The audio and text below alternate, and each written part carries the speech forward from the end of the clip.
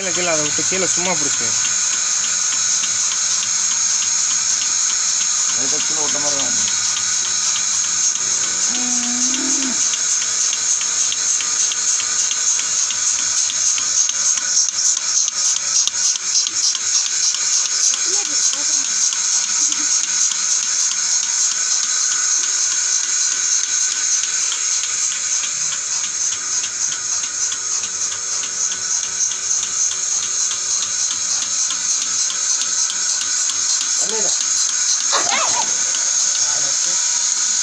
எடுத்துருங்க எடுத்துங்க எடுத்துங்க